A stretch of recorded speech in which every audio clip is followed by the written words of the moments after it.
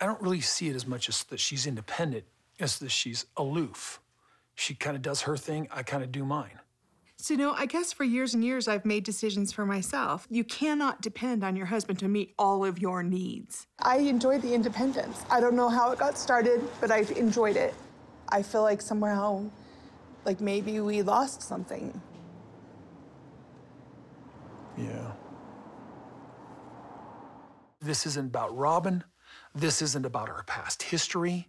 They just put Robyn in the COVID crosshairs. This is really about me and Janelle, her loyalty, her lack of respect during COVID, and for my COVID rules, my desire to protect the family.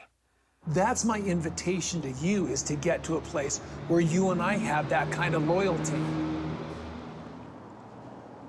And we negotiate and we work out these things like a married It's couple. wild to me that you don't think I have been. All I'm hearing is Robyn is perfect, Robyn is great, Robyn treats me the way I'm supposed to be treated. You need to all of a sudden be this way. We have a small team, everybody's got to conform, and then we're good. No, that's not the that's not what I signed up for. I don't think it's unreasonable for me to expect that my wife would be loyal to me and that she would be an accountable person. And maybe just person, maybe this is not a good fit. Maybe this doesn't work. It feels like the rules have changed for me a little bit. The rules have changed. Like, yeah, I just, all of a sudden, I guess, yeah, I need to, I don't know.